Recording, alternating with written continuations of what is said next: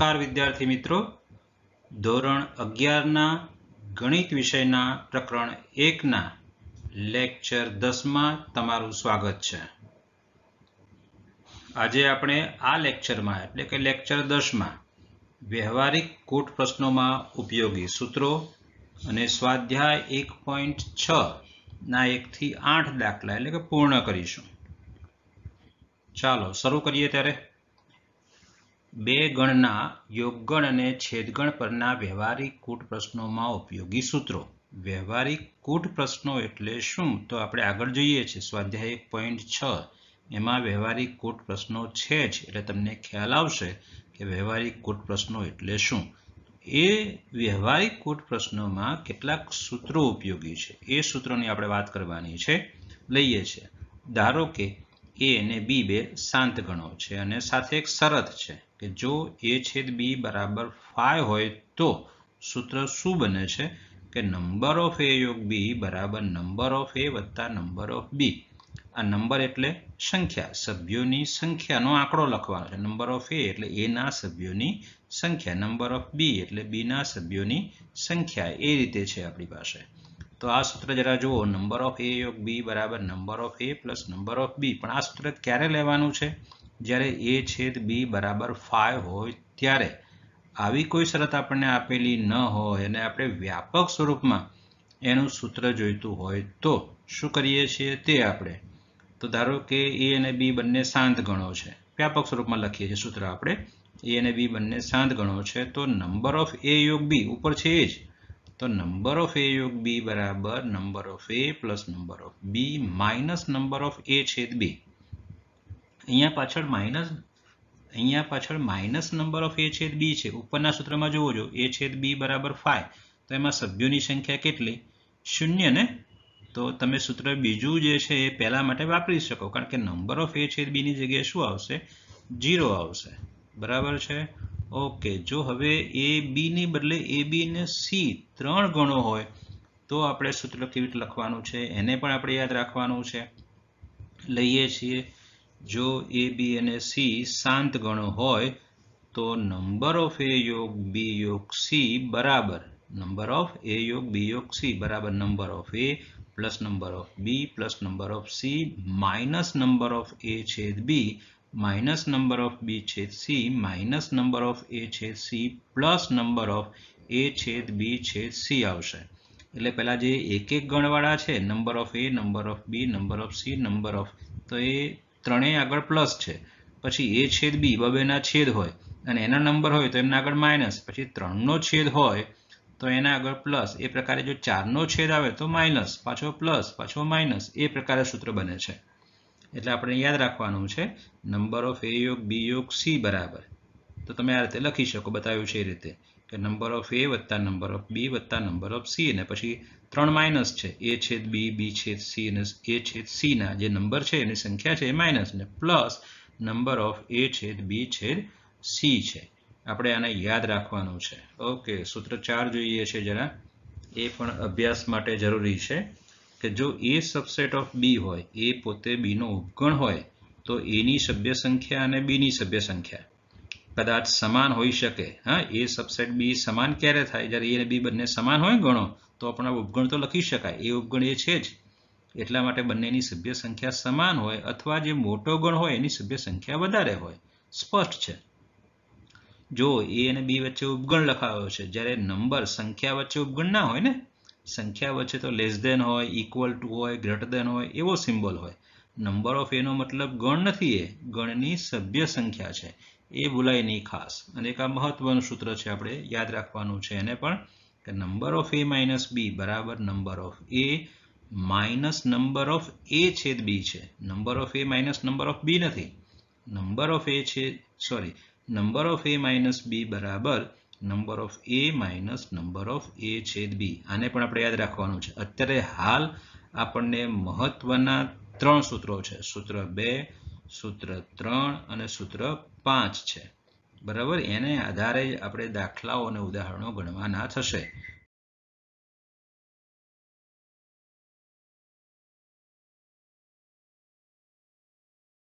આ વિભાગમાં જે આપણે સૂત્રો લીધા, એ સૂત્રનો આપણે પાછળથી પ્રકરણ નંબર સોળમાં સંભાવના નામનું ચેપ્ટર છે, એમાં એનો ઉપયોગ કરવાનો છે. એટલે આ સૂત્રો આપણે છેલ્લા ચેપ્ટર ચેપ્ટર સોળમાં, પહેલા ચેપ્ટર અને પછી ચેપ્ટર સોળમાં આનો ઉપયોગ છે. એટલે આપણે એને ભૂલી જવાના નથી, પાછા યાદ રાખવાના છે. ફરીથી પાછા આપણે ચેપ્ટર સોળમાં યાદ કરીશું.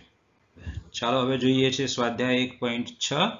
સ્વાધ્યાય એક પોઈન્ટ છ નો પહેલો દાખલો. જો બે ગણ x અને y માટે નંબર ઓફ x બરાબર સેવન્ટીન નંબર ઓફ y બરાબર ટ્વેન્ટી થ્રી અને નંબર ઓફ x યોગ y બરાબર થર્ટી એઇટ તો નંબર ઓફ x છેદ y લખો. એમ કહ્યું છે આપણને. શોધીએ છીએ. પહેલા તો આપણે જે સૂત્રો આગળ યાદ કરાવે આપણે, એનો ઉપયોગ છે સૂત્ર નંબર બેનો ચલો જવાબ શરૂ કરીએ છીએ. નંબર ઓફ એક્સ યોગ વાય બરાબર number of X plus number of Y minus number of X છેદ વાય કેટલા અજ્ઞાત છે આમાં? ચાર. નંબર ઓફ એક્સ યોગ વાય એક. નંબર ઓફ એક્સ બે. નંબર ઓફ વાય ત્રણ. નંબર ઓફ એક્સ છેદ વાય ચાર. આ ચારમાંથી તમારી પાસે ત્રણની કિંમત હોય તો તમે ચોથો શોધી શકો. અને ઉપર છે જ આપણી પાસે. જુઓ જરા. ત્રણની કિંમતો છે એ એમાં મૂકી દઈએ. એટલે આપણને ચોથાની કિંમત મળી જશે. ચલો મૂકીએ છીએ આપણે એમાં. જુઓ જરા. હવે આપણે શોધવાનું છે નંબર ઓફ એક્સ છેદ વાય તો નંબર ઓફ એક્સ છેદ વાય જમણી બાજુએ માઇનસ છે, એને ડાયવર્ડ લઈ લઈએ છીએ. અને સત્તર ને ત્રેવીસ કેટલા થશે? ચાલીસ. અને તે થર્ટી એઇટ જે છે, આડત્રીસ, એને લઈએ છીએ જમણી બાજુએ. ચલો જુઓ આગળ બનશે આપણી પાસે. તો નંબર ઓફ એક્સ છેદ વાય બરાબર ચાલીસ માઇનસ આડત્રીસ, મતલબ કેટલા થશે? બે. જે આપણે શોધવાનું હતું, આપણને કહ્યું હતું કે નંબર ઓફ એક્સ છેદ વાય શોધો. બરાબર છે? સારું. ચલો, જો આગળનો દાખલો જોઈએ છે. દાખલો બે. જો બે ગણ એક્સ અને વાય માટે એક્સ યોગ વાયમાં અઢાર ઘટકો એક્સમાં આઠ ઘટકો અને વાયમાં પંદર ઘટકો હોય, તો એક્સ છેદ વાયમાં કેટલા ઘટકો હશે? ઉપરના જેવો જ દાખલો છે ને? અહીંયા શબ્દોમાં વર્ણન કર્યું છે ત્યાં આપણે નંબર આપ્યા છે. નંબર ઓફ એક્સ આપ્યો છે. અહીંયા આપણે નંબર ઓફ એક્સ નહીં, પણ કીધું છે કે બે એક્સમાં આઠ ઘટકો છે. વસ્તુ છે એની એજ. બરાબર છે? ચલો, ફરીથી પાછો શરૂ કરીએ જવાબ એ પ્રકારે જ પહેલાં સૂત્ર લખવાનું. કારણ કે આપણને એક્સની સભ્ય સંખ્યા આપી છે વાયની સભ્ય સંખ્યા આપી છે અને એક્સ યોગ વાયની સભ્ય સંખ્યા આપી છે. તો આપણે શોધવાનો છે એક્સ છેદ વાય તો પછી આ સૂત્ર જ આવશે ને? બરાબર છે, સ્પષ્ટ દેખાય છે.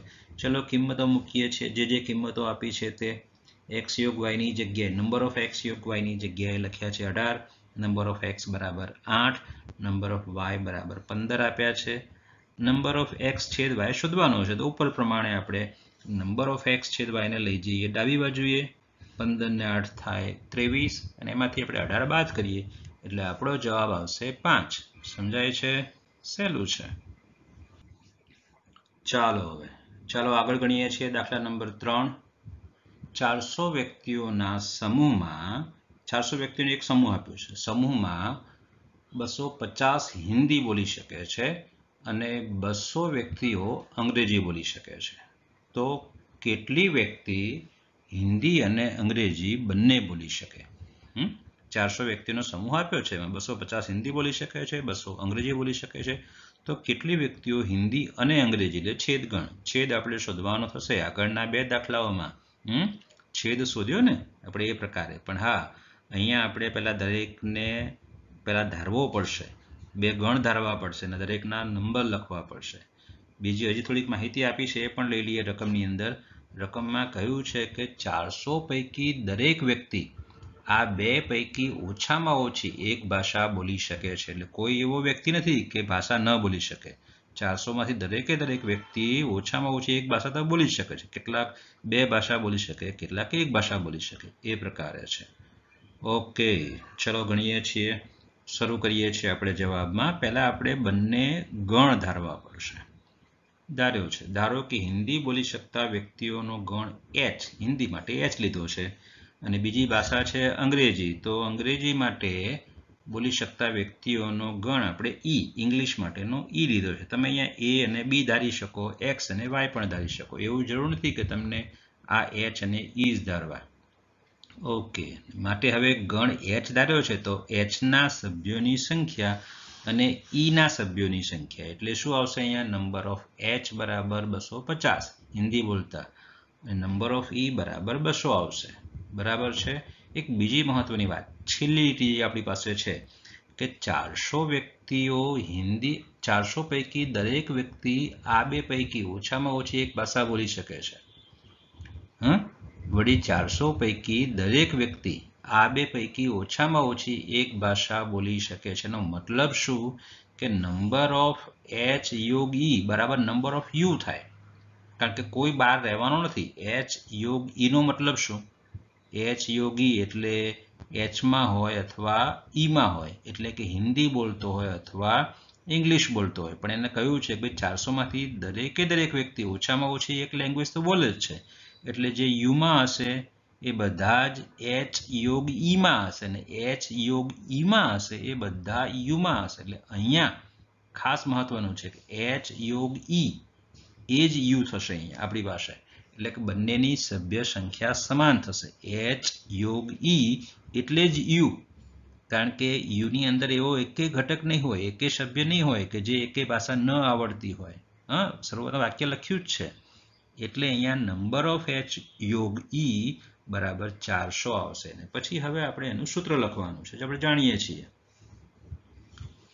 નંબર ઓફ એચ યોગી બરાબર નંબર ઓફ એચ વત્તા number of E minus number of H છેદ ઈ અને હવે આપણી પાસે ત્રણ કિંમતો છે, બસો પચાસ, બસો અને ચારસો. એ કિંમતો આપણે આ સૂત્રમાં મૂકી દઈએ છીએ.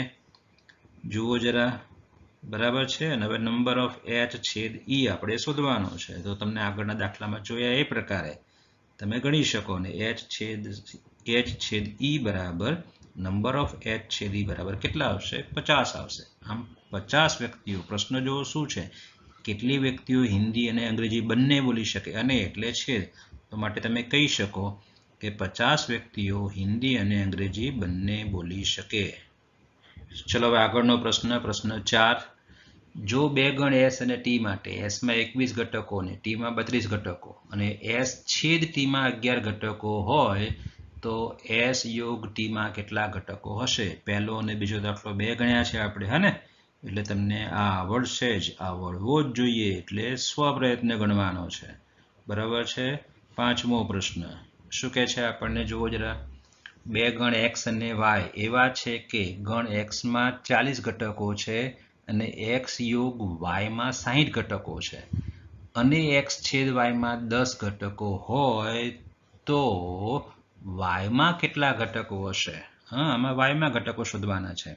આપણા સૂત્રમાં ચાર અજ્ઞાત હોય છે. બરાબર ને? એક્સ યોગ વાયનો નંબર એક્સ છેદ વાયનો નંબર એક્સનો નંબર એટલે કે એક્સની સભ્ય સંખ્યા અને વાયની સભ્ય સંખ્યા. અહીંયા આપણને ત્રણ સંખ્યા તો દેખાય છે આપેલી છે ને? સાહીઠ, ચાલીસ અને દસ. તો પછી વાયની સભ્ય સંખ્યા તમે શોધી જ શકો. જાતે કરવાનો છે. ભાઈ આવડશે જ એકદમ આવડશે બરાબર? પ્રયત્ન કરો એટલે ગણાઈ જશે. ચાલો આગળ જોઈએ છીએ. પ્રશ્ન છ. સિત્તેર વ્યક્તિઓના જૂથમાં સાડત્રીસ વ્યક્તિઓ કોફી પસંદ કરે છે અને બાવન વ્યક્તિઓને ચા પસંદ છે. જૂથ કેટલાનું? સિત્તેરનું. એમાં સાડત્રીસ વ્યક્તિઓને કોફી પસંદ છે. અને બાવન વ્યક્તિઓને ચા પસંદ છે. તથા દરેક વ્યક્તિ આ બે પીણામાંથી ઓછામાં ઓછું એક પીણું પસંદ કરે છે. જુઓ જરા આ વાક્ય મહત્વનું છે. આગળ હતું ને? હમણાં જ આગળ કે ભાઈ, દરેક જે ચારસો વ્યક્તિ હતા, એ પૈકી ઓછામાં ઓછો એક વ્યક્તિ. એ પૈકી દરેક વ્યક્તિ ઓછામાં ઓછી એક ભાષા જાણે છે. એમ અહીંયા સિત્તેર વ્યક્તિનું ગ્રુપ છે, જૂથ છે. એમાંથી ઓછામાં ઓછું એક પીણું તો દરેક વ્યક્તિ પીવે જ છે. એટલે જે તમે ગણ લેવાના છો, યોગ ગણ, એ યુના જેટલો જ થશે.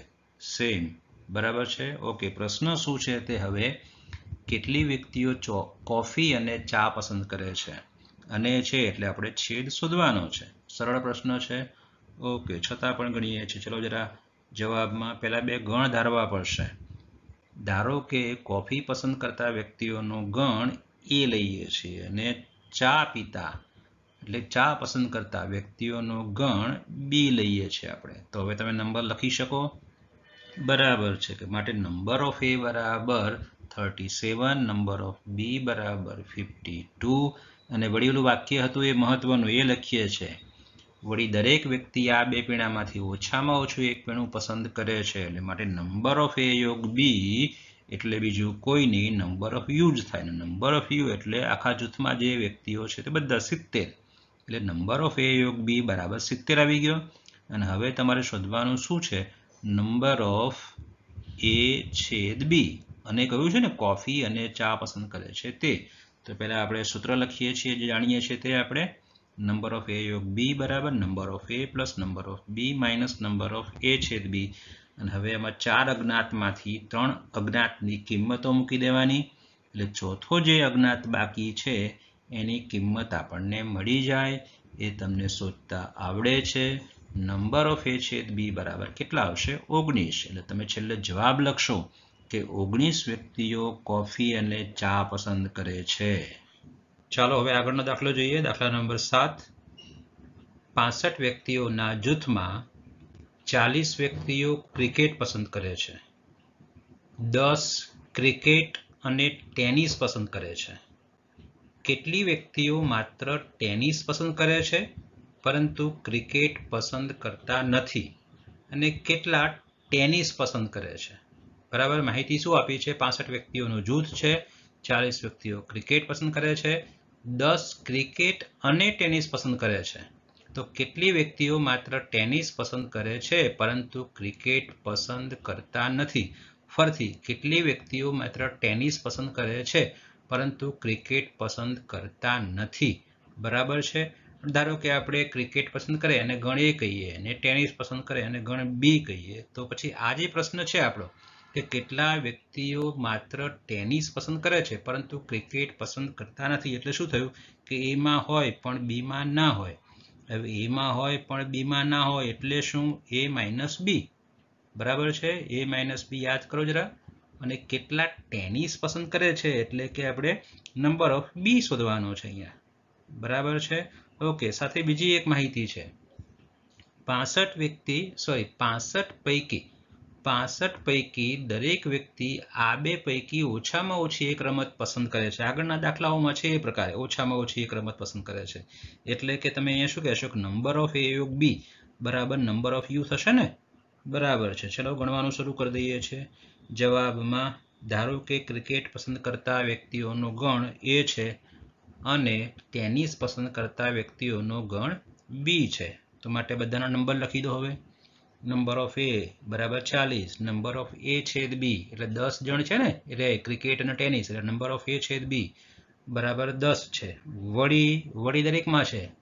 કે વળી પાસઠ પૈકી દરેક વ્યક્તિ, આ બે પૈકી ઓછામાં ઓછી એક રમત પસંદ કરે જ છે. એટલે પાસઠનું જે જૂથ છે, એમાં દરેક વ્યક્તિ કોઈક ને કોઈક તો રમત રમે જ છે. એટલે કે નંબર ઓફ એ યોગ B is equal to number of U થશે ને? એટલે કે પાસઠ આવશે. એટલે નંબર ઓફ એ યોગ બી છે નંબર ઓફ એ છેદ બી છે નંબર ઓફ એ પણ આપણને આપેલો છે. અને પ્રશ્ન બે પૂછ્યા છે. એમાં બીજો પ્રશ્ન છે, કેટલા ટેનિસ પસંદ કરે છે? તો પહેલાં એ શોધી નાખીએ. કેટલા લોકો ટેનિસ પસંદ કરે છે? બીજો પ્રશ્ન, એ થોડો સરળ છે, એટલે પહેલાં એ પૂરો કરી દઈએ. જુઓ જરા. પહેલાં આપણે સૂત્ર લખીએ છીએ નંબર ઓફ એ એક બીનું અને એમાં ત્રણની કિંમત મૂકી દઈએ. નંબર ઓફ એ બી બરાબર પાસઠ નંબર ઓફ એ બરાબર ચાલીસ નંબર ઓફ બી એમનેમ રાખવાનો છે નંબર ઓફ એ છેદ બીની જગ્યાએ દસ લખવાના છે. અને હવે આના આધારે આપણે નંબર ઓફ બી શોધવાનો છે. એ તમને શોધતા આવડે છે સરળતાથી. બરાબર છે? કેટલો આવશે? નંબર ઓફ બી બરાબર થર્ટી ફાઇવ તમે જાતે શોધી શકશો, એમાં કશું અઘરું નથી. નંબર ઓફ બી બરાબર પાંત્રીસ આવે ને? બી આપણે કોને ધાર્યો છે? ઉપર જુઓ જરા, ટેનિસ પસંદ કરતા વ્યક્તિઓનો ગણ. એટલે નંબર ઓફ બી બરાબર પાંત્રીસ, એટલે પાંત્રીસ વ્યક્તિઓ ટેનિસ પસંદ કરે છે. ઓકે, પહેલો પ્રશ્ન હવે. જુઓ જરા, પહેલો પ્રશ્ન શું છે રકમમાં? કેટલી વ્યક્તિઓ માત્ર ટેનિસ પસંદ કરે છે, પરંતુ ક્રિકેટ પસંદ કરતા નથી. મતલબ, ગણ બીમાં હોય, પણ ગણ એમાં ન હોય. બરાબર ને? ગણ બીમાં હોય. કારણ કે ટેનિસ પસંદ કરે એમ લખ્યું છે ને? એટલે બી ગણ જે ટેનિસ પસંદ કરતા વ્યક્તિઓનો ગણ છે. એટલે ગણ બીમાં હોય, પણ એમાં ન હોય. એવું શોધવાનું છે. ઓકે, બાજુમાં લીટી કરી અને અહીંયા લખી દઉં છું. તમારે ઊભું જ લખવાનું છે. ચલો, શરૂ કરીએ છીએ આપણે. ચલો, બાજુમાં લખું છું હવે જે માંગ્યું છે તે માત્ર ટેનિસ પસંદ કરે છે, પરંતુ ક્રિકેટ પસંદ કરતા નથી. તેવા વ્યક્તિઓની સંખ્યા એટલે શું લખીશું? બરાબર number of B minus A number of B minus એનું સૂત્ર શરૂઆતમાં જ લીધું છે આપણે, હા? ત્રણ સૂત્રો મહત્વના મેં તમને કહ્યા છે એમાંથી. Number of B minus A એટલે number of B minus number of A છેદ બી અથવા બી છેદ. A number of B minus number of B છેદે બી છેદે લખો કે એ છેદ બી લખો. એમાં કશો ફેર પડતો નથી અને આ બંનેની સંખ્યા આપણી પાસે છે જ. નંબર ઓફ બી બરાબર પાંત્રીસ છે, નંબર ઓફ એ છેદ બી બરાબર દસ છે. એટલે બરાબર પચીસ આવશે. એટલે તમે કહી શકો કે પચીસ વ્યક્તિઓ એવા છે કે માત્ર ટેનિસ પસંદ કરે છે, પરંતુ ક્રિકેટ પસંદ કરતા નથી. ચાલો હવે છેલ્લો દાખલો લઈએ છીએ, આઠમો દાખલો. એક સમિતિમાં પચાસ વ્યક્તિઓ ફ્રેન્ચ બોલે છે, વીસ વ્યક્તિઓ સ્પેનિશ બોલે છે અને દસ વ્યક્તિઓ બંને ફ્રેન્ચ અને સ્પેનિશ બંને બોલે છે. ફરીથી, સમિતિમાં કેટલા વ્યક્તિઓ છે? પચાસ. ના, એવું નથી આપ્યું. ઓકે, સમિતિમાં પચાસ વ્યક્તિઓ ફ્રેન્ચ બોલે છે, વીસ સ્પેનિશ બોલે છે અને દસ વ્યક્તિઓ એવા છે કે બંને ભાષા બોલે છે. કેટલી વ્યક્તિઓ આ બે ભાષાઓમાંથી ઓછામાં ઓછી એક ભાષા બોલી શકે છે? આ છેલ્લો પ્રશ્ન છે. અને શું લખ્યું છે? કેટલી વ્યક્તિઓ આ બે ભાષાઓમાંથી ઓછામાં ઓછી એક ભાષા?